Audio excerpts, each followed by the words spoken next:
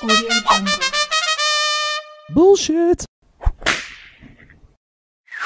Let's pretend for a moment we've entered a parallel universe, free of bullshit marketing and full of bold solutions. That's what the No Bullshit Marketing podcast is all about. I'm your host, Dave Mastovich, and our guest this episode is Tony Lombardi, a former healthcare chief executive and a past winner of the Lifetime Achievement Healthcare Hero Award. Our Sights and Sounds of Marketing has David Bowie telling us about ch-ch changes and goes back to when everybody was kung fu fighting. But first, let's cut the bullshit. When someone leaves a company, why do they and most of their coworkers rarely stay in touch for more than a few months? How do former bosses and mentors become just memories instead of being part of an ongoing win-win relationship? Why do friendships turn into acquaintances and then move to someone I used to know? The reasons range from trivial to ridiculous, but the relationship was disposable rather than indispensable. How can we avoid this? First, acknowledge there's no such thing as a perfect relationship. Okay, we can all agree on that. The hard part is doing it. For example, instead of only remembering criticism from a former boss, focus on the positives of the relationship. Second, overlook the imperfections in others. I know, another straightforward yet difficult to implement piece of advice. Try not to concentrate on how your former coworkers bugged you. Remember, most days they actually agreed with you and you got along 80% of the time. We all have different expectations from each relationship. Sometimes people don't even realize they're making the relationship one sided. In other cases, your styles may be completely different, and you'll have to compensate by being creative and forgiving. You also might want to tactfully let the other party know where you're coming from and what your expectations are. Look at each relationship in a different light. Make them indispensable rather than disposable, and both parties will reap the benefits. Hey, I never said it was easy. Our guest today is Tony Lombardi. He's riding in on a motorcycle. uh, Tony's a former healthcare system CEO who also was involved with the outreach for the American Hospital Association and was board chair of the Hospital Association of Pennsylvania. He's been recognized for his leadership successes with many awards throughout his distinguished career. Tony, welcome to the show. Thank you, Dave. What's a tool or a tip that you'd offer our audience to help tell their story, craft their message, or to help them with their career?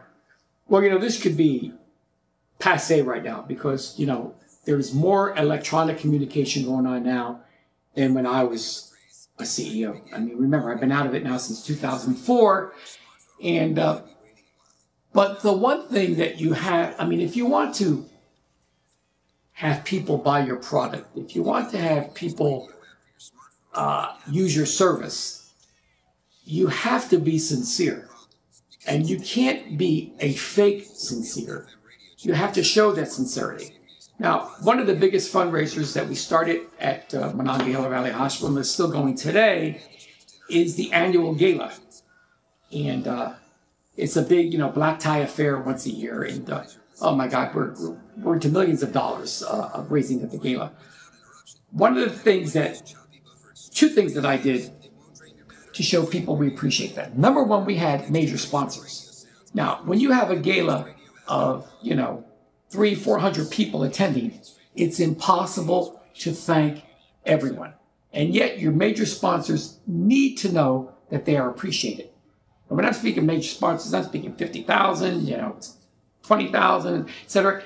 They come, but they can be lost in the crowd. So what I did was I started a president's reception an hour before the general reception, where my wife and I stood at the door, and we had, we developed our management team so that every one of them had a number of major sponsors that they had to that they were responsible for seeking a donation from.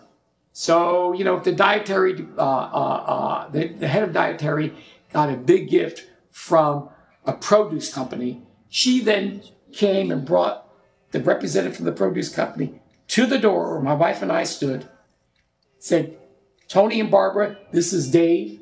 Dave is from this produce company. Got to shake our hands, got to talk a little about them. How's your family? Where, where do you live? Blah, blah, blah, blah. And then they went in and had their wine and cheese, but every one of them was recognized with my wife and I being at the door and greeting them. The second thing we did was you don't ignore those people who come to the gala, even if they're only paying the price of a ticket, which right now is $350 a couple. And, you know, you have a young couple with a couple of kids at home, you know, smack out $350 and new dress and rent a tuxedo and everything else like that. It's money. So we had their pictures taken during the gala. And uh, once those pictures, now today, you know, you, can, you look at it on the camera, but once those pictures were developed, I had them put in some, you know, in a little little uh, paper frame, and I sent them back to the couple, little note. Just thought you'd enjoy seeing how nice you look at our gala. Just wanted to tell you how much we appreciated you being here. Look forward to seeing you next year. Very truly yours. And there were 500 people at the one gala that I attended, yeah. and so the audience is thinking, "What are you talking about on the pictures?" Because now we have the camera and everything, but it doesn't matter that that was ahead of its time. Now you can go to something like uh, the wedding and they, they hand you your picture right there. But folks, this was whenever this was a big deal because the week after the gala, the communications department would come over and hand him the, all the pictures. He'd take and make a personal note and send it out. And it goes back to one of my blog posts was about the written thank you and how much more meaningful the written thank you is. We tend to hold on to written thank mm-hmm. yous that we get. We keep them because mm-hmm. they mean so much to us. Mm-hmm. Well, that's true.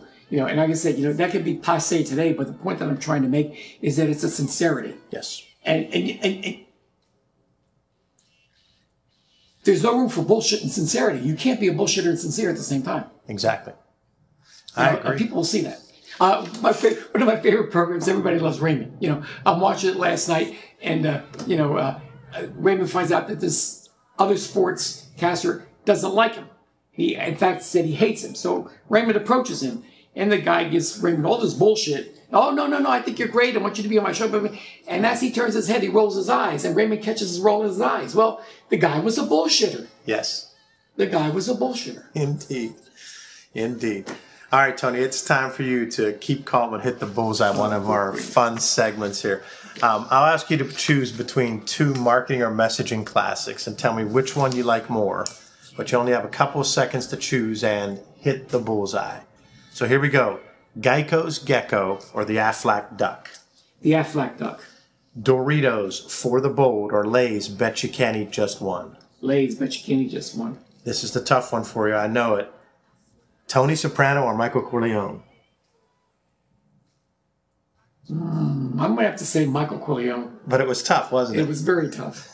I'm loving it or have it your way? Have it your way. All the hospital you need, or treat your health care as if your life depended on it. Can I pass? We'll go with all the hospital you need. okay. Don't leave home without it, or priceless. Don't leave home without it. Now, see, guys, I know Tony really well, so I've gamed the system here today. Frank Sinatra or Elvis Presley? Oh, Frank Sinatra. the Old Spice guy or the most interesting man in the world? Most interesting man in the world. Okay, just say no, or this is your brain, this is drugs, this is your brain on drugs. This is your brain on drugs. All right, excellent stuff. So let's recap a little bit. What made you choose the Aflac duck?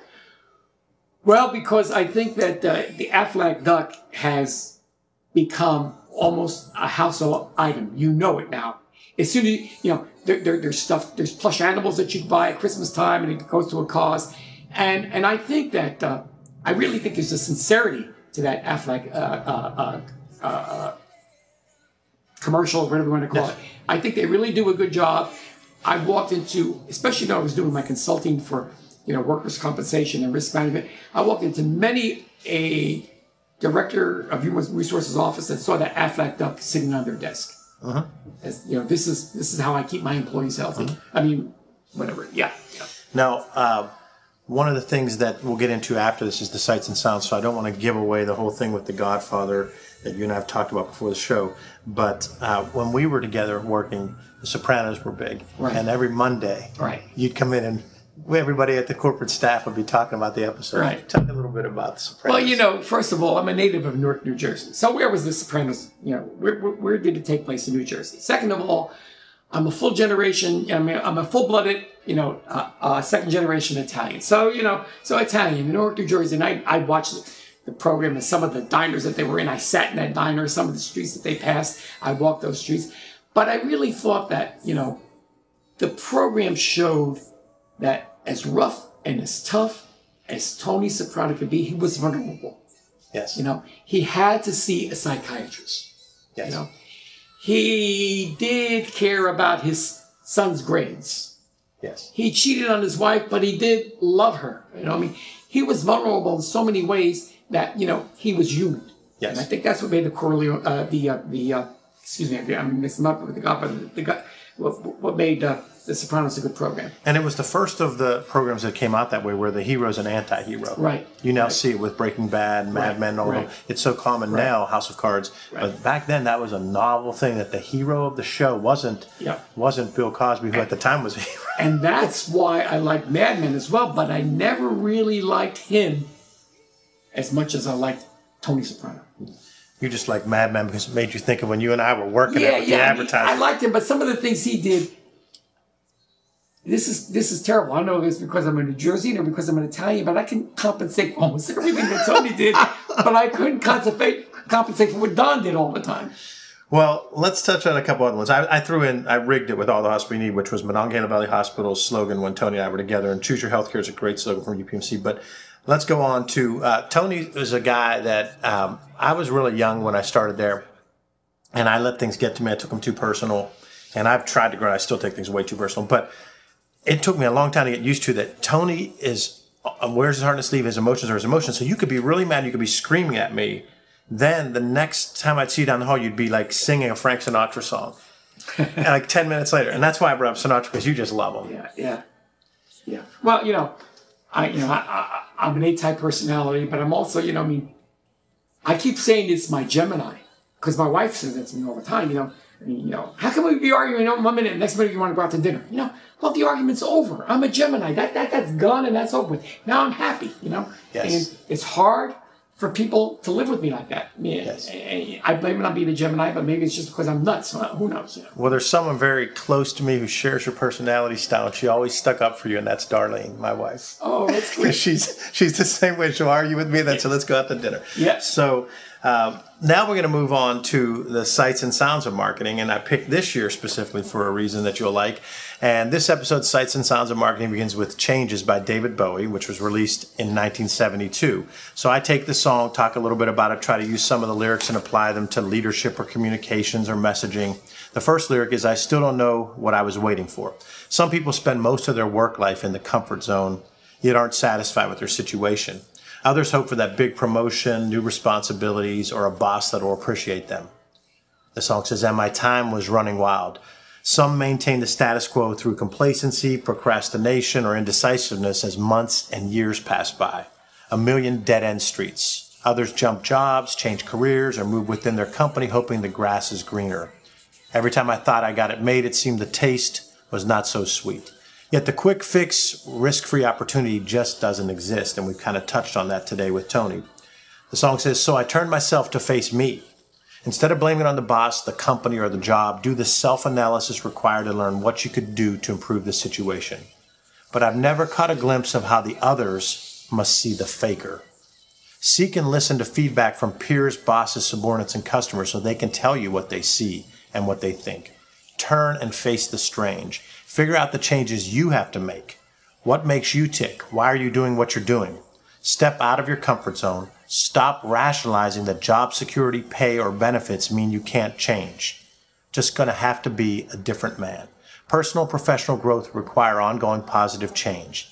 Develop an action plan with specific goals and do what you need to do. Ch-ch changes. Don't think it's too late or not the right time, just make it happen.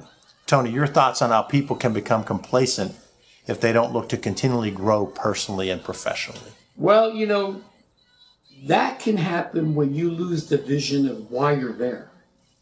You know, what is this company supposed to be doing and what is my role in the company to do it? And the best way that I can explain that was when we were going through the merger process. First of all, we called it a consolidation because, you know, a merger, one, one loses their identity, the other one absorbs it. And, you know, there's all these kind of petty jealousies. So we said, let's make it a consolidation. We both lose our identity and we form a new corporation. Well, there were two hospitals that were six miles apart.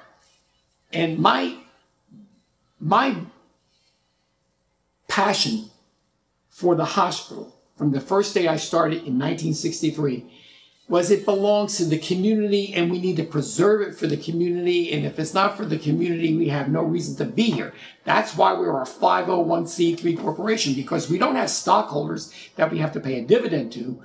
We have shareholders that we have to make sure we're here to meet their needs. So there was a big argument going. And I told the board, first time, as soon as I became CEO, which was three years after I got there, I was 25 years old. Uh, no, 28 years old, excuse me. Three years after I got there, I became CEO. And I told them then, there, there are going to be times when you and I are going to disagree. And when it's just a disagreement, it's fine. But when it gets to the point that I cannot do what you want me to do, then I'm going to leave. But I'm not going to badmouth you or say anything about the organization. We're going to leave on peaceful terms. Well, there were two hospitals. One had 21 board members, the other one had 16 board members. So one of the board members calls me into the office and says to me, What are we going to do about X? I said, Well, what about X? He calls me to his office. And I said, uh, He said, Well, you know, he has 21 board members. We have 16. We want to we want him to get rid of five, and he won't do it. I said, I think X told you go out and get five more. He said, Well, we don't want to do that. So I got up and I drew. I, there was a blackboard in his conference room, and I drew a big circle. And in the, inside the circle, I wrote the patient. I said, Now, they got 21, you got 15. They got this specialty, you don't have this specialty. I said, you know, you're going all these crazy things. And I said, and the only one that matters here, and I hit the board so hard with chalk to the word patient that the chalk broke. And I said, and none of you are thinking about the patient. And I stormed out of his conference room. And I went home and I told my wife that, you know, despite the fact that you were born and raised in this town, you don't want to leave. You better get ready to pack your bags. But you know, that's it. You know, you become complacent if you lose the reason why you're there. You know, the job security is fine, but if the job security means that you've lost your reason for being, then the job security is bullshit. Yeah, I know you got to put food on the table and you can't think about that all the way, but you don't do it abruptly. You know, you plan and you say to the board, you know what? Or you say to your employer, we're going in different directions. And until our path meet, I'm going to be looking to make a change. I want you to know ahead of time. You know, I hope you can understand this. I know I have to feed my family, but, you know, I know it's idealistic. But if you don't have that, if you don't have a feeling in your gut, a passion in your heart for the job you're doing or for the organization you work there, you don't belong there. Exactly. Some of the other sights and sounds of marketing from 1972 were Hey Mikey, he likes it, a Life cereal ad. Bob Barker begins hosting the new Price is Right. I can't believe I ate that whole thing. Alka Seltzer ad campaign. The movie and TV show Kung Fu premiered, and Master Po asked young Caine, Do you hear the grasshopper which is at your feet? And White Owl cigars. Sooner or later, you're going to try a White Owl. When you do, we gotcha, was their TV commercial.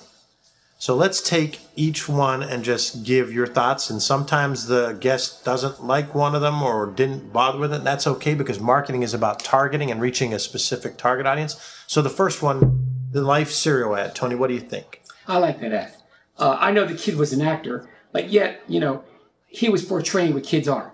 They're sincere. They're honest. They either like it, they don't like it. They like you, they don't like you. They're like you know, they're almost like your you know a kid and a dog are synonymous. Your dog either loves you or hates you. Your dog, your kid either likes something that you do for them or they don't like it. So I like that ad. It's a very effective Good. ad. Good. How about Bob Barker and The Price is Right? Are you a fan of him at all? Nothing against Bob Barker, but I don't like that show at all. The interesting thing about the show is if it started in 1972, it is still so much part of our pop culture. I mean, it's still. The other day, I walked in and it was on in my house. I'm like, they're watching The Price is Right? I don't like any reality TV. Nothing at all. The only reality TV that I ever watched, and for you people out there who are not Pittsburghers, was I watched every week when Hines Ward was on Dancing with the Stars. And I had three telephones going, and my wife had two going, and we voted five times every week for that guy to win that, you know, ball or whatever he won. And That's he did. yeah, and that's He the did, only right? He reality did win, TV. Yeah, he Yeah, did. yeah. That's the only show I ever watched. But that's showing your true colors there. When, Right. when you're in Western Pennsylvania, the Steelers drive a lot of what you do. There's, there's, uh, you know, Alec, my oldest son, his uh, baptism party and everything was scheduled around a Steeler game. so that's just how we are. So the Alka Seltzer ad, what do you think? I like that. I, I, I liked it because, you know, I mean, uh, uh, I was vulnerable there. I mean, I could sit there and eat the whole pizza, but luckily enough, I went to bed without having to have Alka Seltzer. So I like it. I enjoyed that. Alka Seltzer's had some great campaigns in those Yeah, in the 70s yeah, and 80s. Alka Seltzer and all that. that yeah, was and good. the yeah. plop plop fizz fizz. They were doing some great stuff. So the the reason the TV show I put that on there is I just remember uh, people making fun of it, poking fun at like Grasshopper. Uh, what do you think of the TV show and movie? Never saw it. Never saw it. How about this one? The vast majority of our audience has never seen a cigarette or cigar commercial on television because in 1972 was the last year of any tobacco related television commercials.